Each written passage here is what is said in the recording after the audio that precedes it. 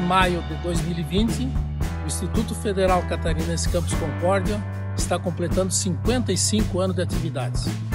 55 de anos de atividade e contribui muito para o município de Concórdia, para o estado de Santa Catarina e também para o Brasil. Nesse período de 55 anos, eu permaneci quase 30 anos no Instituto, onde eu fui docente e também fui gestor da instituição.